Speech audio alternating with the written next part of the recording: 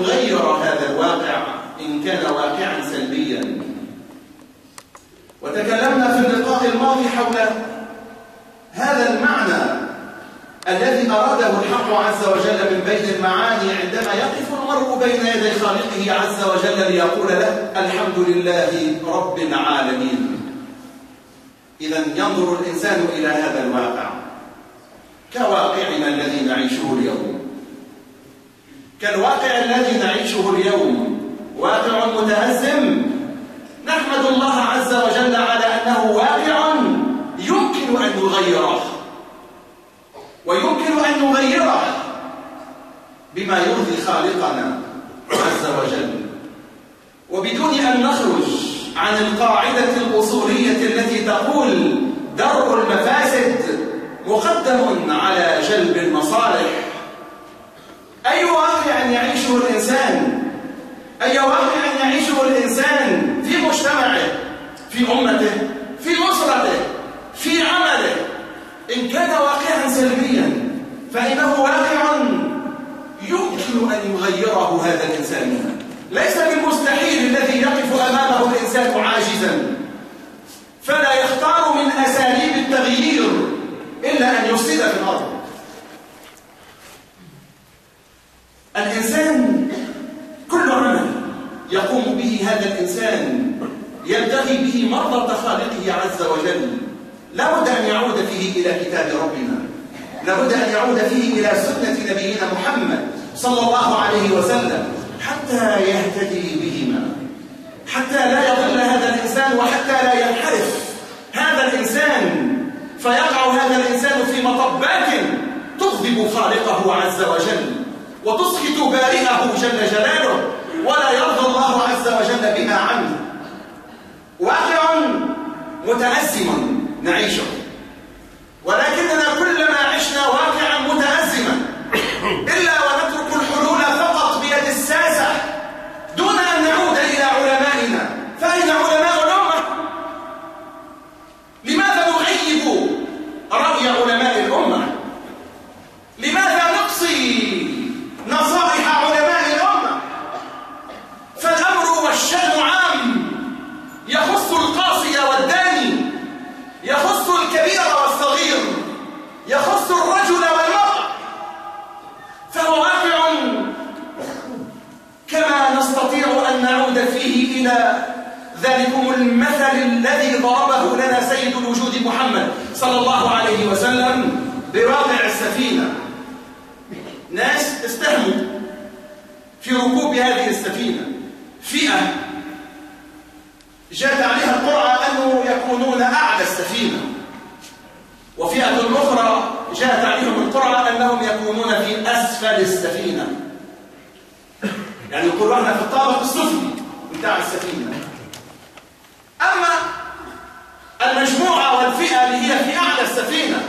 إذا أرادوا ماء إذا حبوا الماء من البحر كل واحد منهم يستطيع أن يأتي بدلو بسطل بتاع ماء ويلقيه في البحر فيأخذ من الماء ما شاء. أما الفئة الثانية وهذا مثل في الحقيقة رائع ضربه لنا النبي محمد صلى الله عليه وسلم الفئة الأخرى والمجموعة الثانية التي هي في أسفل السفينة كلما أرادت الماء كلما أرادت الماء صعدت إلى أعلى السفينة وألقت بدلوها في الماء. قالوا والله كل ما نحب الماء نرجع فوق ونطلقوا جيراننا. والماء هو قريب منا إحنا في أسفل السفينة في القاع. ماذا لو ثقبنا السفينة وأدخلنا الماء هكا من المنتج للمستهلك؟ علاش كنتوا طالعين ومهبطين حال تحليلها؟ وتعبوا شقالينا وغيرنا من الجيران. إذا نكتفي بأن نخرق هذه السفينة وأن نثقب هذه السفينة فيدخل إلينا الماء. رأي ونحترم هذا الرأي ولكن لو ترك لهؤلاء أن يختاروا هذا الرأي لغرقت السفينة. ولذلك كان لزاما على من هم في أعلى السفينة أن يمنعوا من هم في أسفلها حتى لا يخرقوا هذه السفينة وحتى لا يغرق الجميع. نحن في بلادنا وفي واقعنا سفينة واحدة وتجمعنا جميعا دون استثناء نستثني أحدا كبيرا أو صغيرا رجلا أو امرأة سفينة إن غرقت آلت الجميع لذلك لابد أن يكون هناك رأي حصيف هناك رأي حكيم ينقذ بلادنا مما هي فيه أو من متاهة قد تقع فيه رأي يكون حكيما نعود فيه إلى حكمائنا نعود فيه إلى أصحاب الرأي نعود فيه إلى أصحاب المشورة نعود فيه أيضا إلى علماء هذه الأمة نستشيرهم في أمر العامة فهو ليس بالأمر الخاص. لابد اليوم وأن نحن أمام هذا الخطر المفزع. نحن أمام خطر مفزع. لما نقول أنه في إضراب عام يوم 18 هذا خبر. هذا خبر. المصلحة مقدمة. مصلحة البلاد. مش مصلحتي ومصلحتك. مش مصلحة فئة. أو جهة. مهما كانت هذه الجهة مصلحة الناس هي قبل كل شيء. مصلحة البلاد هي قبل كل شيء. مش البلاد كلها تتحرق لأنه ثم مصالح عند هؤلاء أو عند هؤلاء. مصلحة أبناء هذا الوطن هي المقدمة والمصلحة العامة مقدمة على المصلحة الخاصة. هذا رأي عند الحكماء. وعند أصحاب الرأي سواء كانوا من الساسة أو من العلماء أو من الفلاسفة أو من أصحاب الرأي المصلحة العامة مقدمة على المصلحة الخاصة وديننا علمنا أنه لا ضرر ولا ضرار. طبعا ما نرجع إحنا إلى إضراب 78 جانفي 78 ماتت فيها ناس أريقت فيها دماء عطلت فيها مصالح. الأسباب تختلف اليوم. الأسباب اليوم ممكن أن نحلها بحوار. فلا نلجأ إلى تعطيل مصالح الناس والبلاد والعباد. يمكن من خلال الحوار اللي ربي عز وجل علمنا أن نتحاور.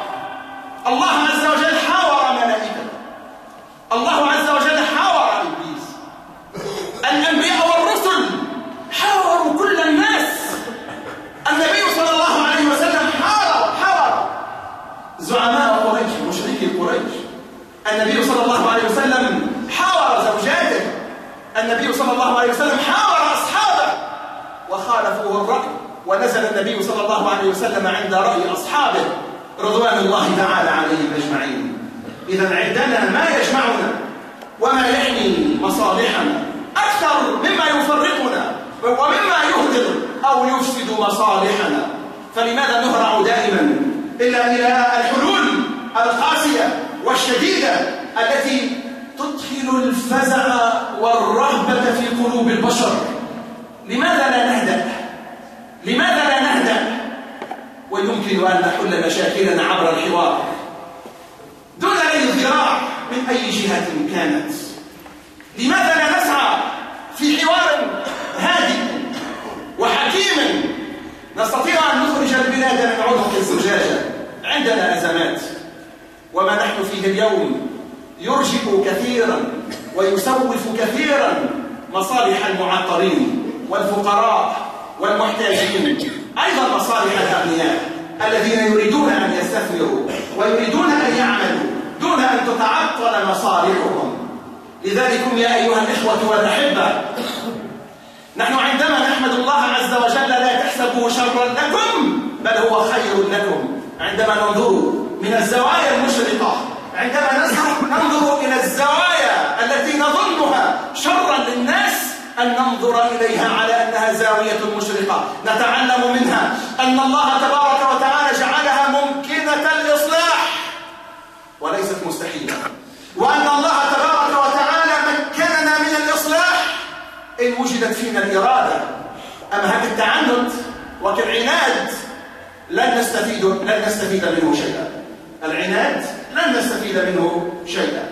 العناد هو اللي باش يوصلنا إلى السفينة الغارقة. إلى السفينة التي لن تستثني أحدا منا لا قاسيا ولا دانيا. سوف نجتمع جميعا على الأذية. ولذلك أنا مثلكم رأيت ما رأيتموه من مشاهد مفزعة. هذه المشاهد نراها بعد الثورة.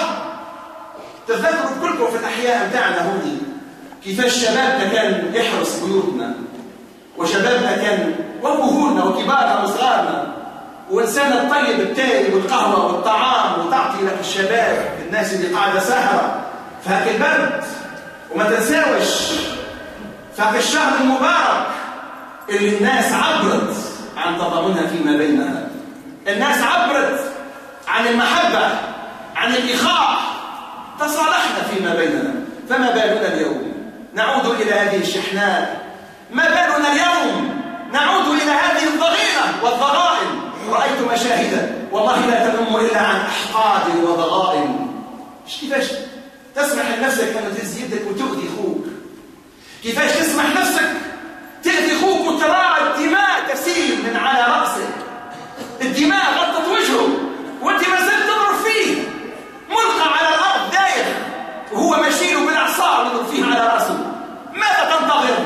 أن يموت؟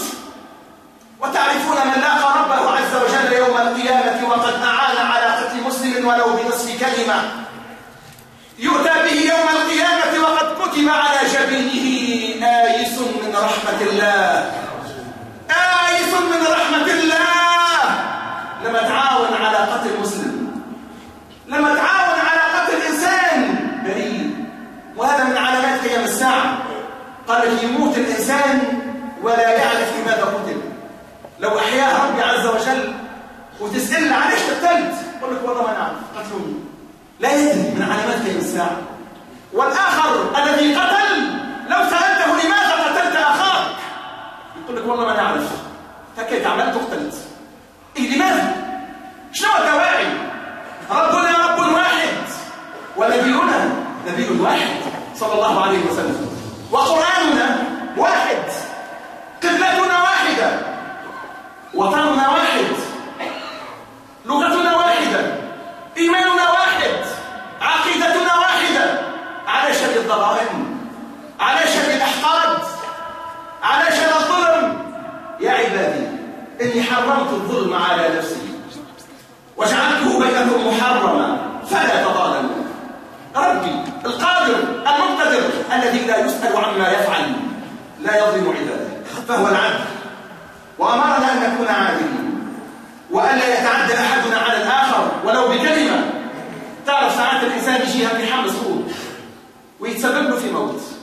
ويلاقي ربي عز وجل أنه أعانه على قتله.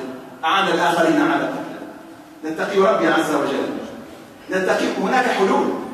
هناك حلول سلبية وهناك حلول إيجابية.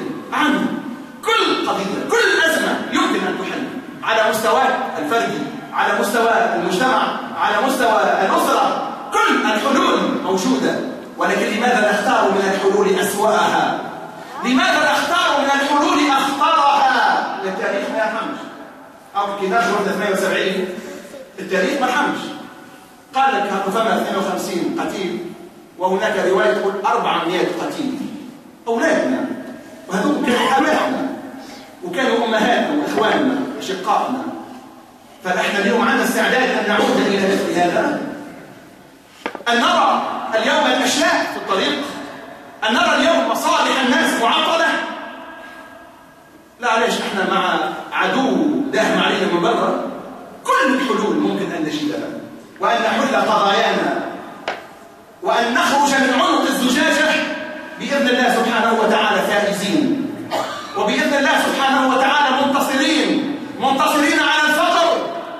منتصرين على الجهل منتصرين على على البطالة منتصرين على المرض هذه الأعداء الحقيقية علاش نجعل من خويا عدو ونأذيه وعلاش نجعل مني عدو ويأذيني لماذا أستعديك نجعل منك عدو تحيرني وما تخلينيش نرقد الليل ولماذا تجعل مني أنا عدوا لك ربما نحيرك اللطف عليك وما نخليكش ترقد الليل ألا يمكن أن نعيش في أمن وأمان إيمانك محفز لهذا الأمن إيمانك محفز أن تكون مشعا على الآخرين بالأمن والأمان من رآك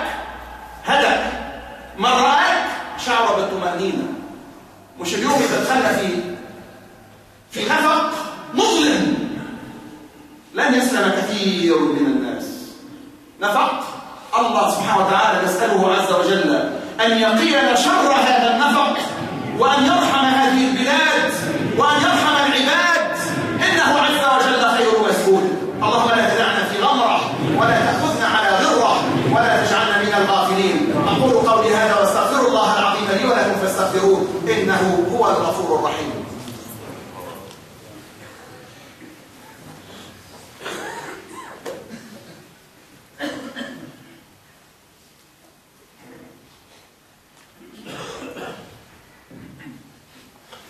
الحمد لله كثيرا كما أمر وأشهد أن لا إله إلا الله وحده لا شريك له ارغاما لمن جحد به وكفر. وأشهد أن سيدنا وحبيبنا وقرة أعيننا محمدا عبده ورسوله خير الأنبياء والبشر. أرسله الله تعالى إلى الناس كافة بشيرا ونذيرا. اللهم صل وسلم وبارك عليه وعلى آله وأصحابه ومن تبعهم بإحسان إلى يوم الدين. أيها الإخوة والأحبة. الإنسان يختلط عليه الأمر وما عادش يفرز بين الحق والباطل. وأحيانا الإنسان تقول ما عادش عنده الملكة أو القدرة على أن يميز بين الحلال وبين الحرام بين ما يأتي وما يضر. النبي صلى الله عليه وسلم أعطانا أعطانا الوصفة النبوية الربانية. النبي عليه الصلاة والسلام يبشر بفتن كقطع الليل المظلم. فتن هوجاء تعصف بالإنسان حتى تجعل حتى تجعل الواحد فينا الواحد منا أن تجعل منه حائرة. لا ينوي عادش يفرق بين يمين ويسار النبي عليه الصلاة والسلام لما طلب منه الحال هذه يعني هذا من كلام من أكثر من 14 قرن الصحابة سألوا النبي صلى الله عليه وسلم يخافوا أن هذه الفتن أن تدركهم يومئذ فسألوا النبي صلى الله عليه وسلم شو الحل؟ قال لهم الرسول صلى الله عليه وسلم عندما تحل هذه الفتن بالناس النائم فيها خير من المضطجع. والمضطجع فيها خير من القاعد. والقاعد فيها خير من الواقف. والواقف فيها خير من الماشي. والماشي فيها خير من الساعي. وكما قال النبي صلى الله عليه وسلم الفتنة نائمة. لعن الله من أيقظها. مناش بحاجة إلى هذه الفتن. عنا نقائص بشر لكن يمكن أن نحلها بالعقل. الحكماء بتاع البلاد العقلاء بتاع البلاد. خليوا العلماء يندمجوا في هذه المنظومة من أجل الإصلاح. علماءنا مادين إيديهم من أجل الإصلاح. حتى لا نحيد عن كتاب ربنا ولا نحيد عن سنة نبينا محمد صلى الله عليه وسلم. إذا عملنا هكذا ربي سبحانه وتعالى ينجينا. وإذا حدنا وانحرفنا وتطرفنا وقلنا لا رد فعل انفعال. انفعالك لازم يكون تحت القرآن. انفعالك لازم يكون وردود فعلك تحت سنة الرسول صلى الله عليه وسلم. كيفاش عالج النبي عليه الصلاة والسلام؟ كيفاش عالج الصحابة رضوان الله تعالى عليهم؟ الأزمات. وكيف أداروا الأزمات. ونجحوا في إدارتها حتى خمدت الفتن نجحوا. وأعطوا قواعد كبرى يمكن أن نعود فيها إلى علماء الأمة إلى علمائنا إلى علماء الزيتونة إلى دعاة علماء الزيتونة. بلادنا فيها علماء وفيها مفكرين. خلينا نستنير بنور فهمهم للقرآن الكريم وبنور فهمهم لسنة النبي صلى الله عليه وسلم. عندنا كثير من المخارج يمكن. لو الإنسان تواضع لو الإنسان ما تكبرش لو الإنسان ما يكابرش غلط إيش بيه نغلط. حتى أنا نغلط. وعلى المنبر نغلط. ونطلب السماح من الكل. لو شبينا لما نأخر عليكم في الخطبة هذا خطأ. ولا بد أن نعتذر من إخواني. مش عيب. النبي صلى الله عليه وسلم فعل هذا. النبي صلى الله عليه وسلم فعل هذا مع أصحابه. والصحابة فعلوا هذا ورجعوا. هذا عمر على المنبر. امرأة عجوز تخرج له. قل له كيفاش سيدنا عمر؟ يرجع سيدنا عمر. الرجوع إلى الحق فضيلة. نريد أن ننقذ بلادنا. اللهم اغفر لنا ذنوبنا. اللهم اغفر لنا عيوبنا. اللهم احمي بلادنا. اللهم اكفنا اللهم اكفنا شر شر الفتن ما ظهر منها وما بطن. اللهم اكفنا شر الظالمين بما شئت وكيف شئت اكفنا شر الحاقدين بما شئت وكيف شئت يا رب العالمين. اللهم ألف بين قلوبنا. اللهم ألف بين قلوبنا. اللهم ألف بين قلوبنا. اللهم ذك نيران المحبة في قلوبنا يا رب العالمين. اللهم اجمع شملنا يا أكرم الأكرمين. اجمع بيننا على الحق المبين يا رب العالمين اللهم طهر قلوبنا من الضغائن والأحقاد الأكرمين اللهم لا تزغ قلوبنا بعد إذ هديتنا. وهب لنا من لدنك رحمة إنك أنت الوهاب. هب لنا من لدنك رحمة وهيئ لنا من أمرنا رشدا. اللهم آتنا في الدنيا حسنة وفي الآخرة حسنة وقنا عذاب النار. اللهم قنا عذاب جهنم. إن عذابها كان غراما. إنها ساءت مستقرا ومقاما. اللهم إنا نسألك علما نافعا وقلبا خاشعا وعينا صابرا اللهم اجعل جمعنا هذا جمعا مرحوما. اجعل اللهم تفرقنا من بعده تفرقا معصوما. اللهم لا تجعل فينا ولا منا ولا معنا شقيا ولا محروما. برحمتك يا أرحم الراحمين.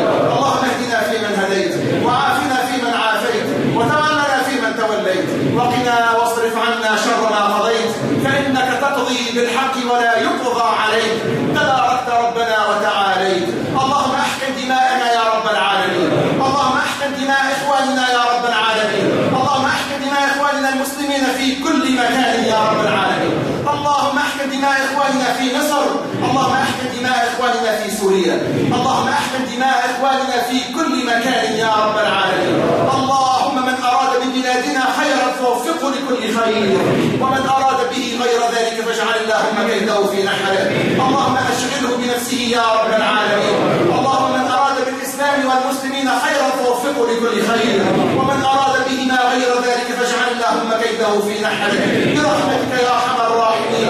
يا رب العالمين. آمين آمين آمين. والحمد لله رب العالمين. عباد الله إن الله يأمر بالعدل والإحسان وإيتاء ذي القربى وينهى عن الفحشاء والمنكر والبغي يعظكم لعلكم تذكرون وأقيموا الصلاة.